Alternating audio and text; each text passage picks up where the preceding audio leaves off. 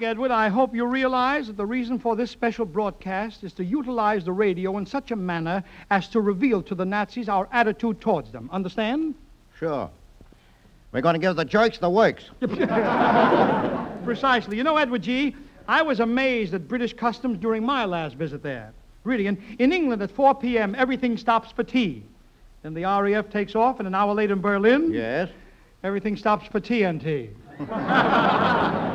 Well, Eddie, I enjoyed my work in London. Yes, yes, I heard that at BBC you set a record by broadcasting nine different languages in one day. You know, I too intend to broadcast soon in a different language. Oh, you're learning English?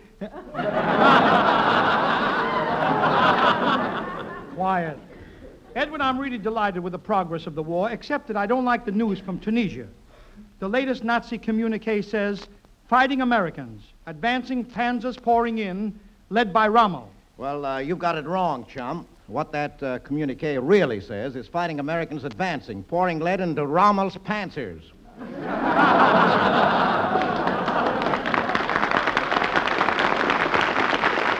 Personally, Yeah? personally, I'd like nothing better than to get a shot at that, Adolf. Well, what good would it do? The Fuhrer always wears a bulletproof vest. Well, Eddie, you have a cockeyed sense of my direction. Oh, yeah, I'm very interested in your tour of England, Robinson. Tell me about the London banquet you attended with Anthony Eden and the other British notables. Well, that was a serious affair, but uh, after the dinner, I attended a dance. And while there, I approached the Duchess, and I bowed politely, and I said, uh, Your Grace, I'd be deeply honored if you would favor me with your presence in the first dance. And uh, what did she say? Let's skip, Drip. Skip, you, you mean the aristocrats over there like the jitterbug? Oh, yes, and it was uh, very embarrassing. I'm, I'm sorry I wore my tails. Why? What was wrong with your tails? Well, every time she threw me in the air, I looked like a P 38 with a cigar. I, I, I mean it, Eddie. You know, never again will I wear those fancy long tails. Oh, they aren't fancy. Tails are nothing but zoot suits with Ritz splits. Eddie, I, I think our listening audience would like to know in what spirits you found the English people. Well, first let me tell you that all you see is uniforms there. Every man, woman, and child.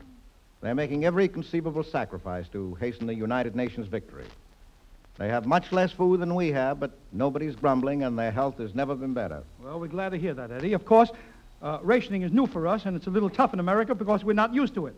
What the poor women must go through shopping these days. Edward, look, let's pretend that we are our wives going to market in the morning.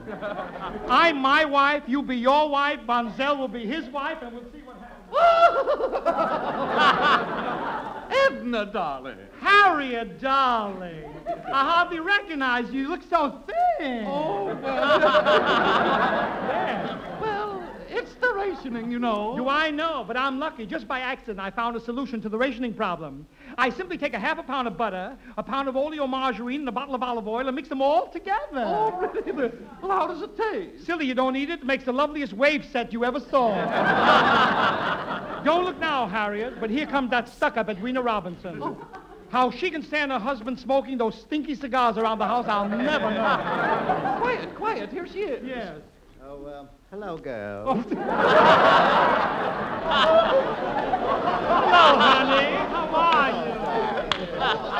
Edwina, my darling, what a lovely hat. Oh, thank you, thank you, Harriet. Yes, lovely hat. Looks even better than it looked last year. yes.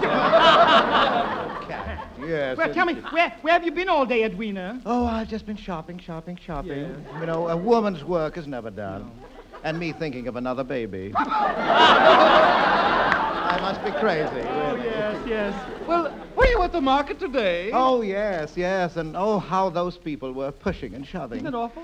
I must say that the women there weren't very ladylike at No, all. no. In fact, I was forced to slug a couple. Good. They deserve it. You know, I had trouble with my butcher, too. Last week he promised me a leg of lamb. And I went in, when, I, when I went in there, went in there, he told me he had to give it to that little dumpy Snooky Fairchild. How do you like that? No wonder she gets me. She goes marketing in shorts. How do you like that? what are you doing tomorrow, Edwina? Well, I think I'll go shopping in my sunsuit. Oh! You, Ed Robinson, in the sunsuit with the open midriff? You'll be displaying more meat than the market. Oh, girls, girls, look.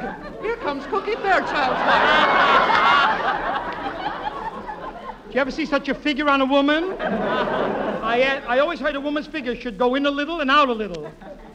Hers goes out all the way down. It drags on the floor. Look at it. Hello, you old hags. Snooky! How did you make out with your shopping? Oh, just ducky. I got a pair of shoes with my number 12 stamp. Well, my dear Cookie, the number 12 stamp isn't for shoes, it's for sugar. Sugar? No wonder my stockings are so lumpy. Why don't you girls stop complaining? Look at me. Me with my five children. I have to give them all the food. I'm going to die. I'm on a liquid diet, you know. So hard to stretch points. All I've had for the past five days is orange juice, orange juice, and more orange juice, and more oh, orange oh, you juice. poor dear, you. Really, I swallowed so much liquid that my stomach thinks I'm taking in washing. Honestly. What is that? Oh, yeah, I'll get it. I'll get it. Hello. What's that? Well, uh, I'd, uh, yes, I'd, I'd love to meet you on Hollywood Boulevard. Ten minutes? You cute thing, you. oh, just a man. His name I don't know. Well, if you don't know his name, why are you meeting him? Well, he says he's a butcher. A butcher!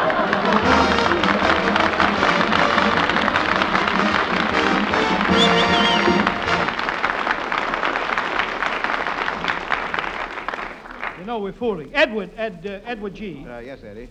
The last time I was in England, I met a famous espionage agent who was grilled by the Nazi Gestapo for three days and three nights.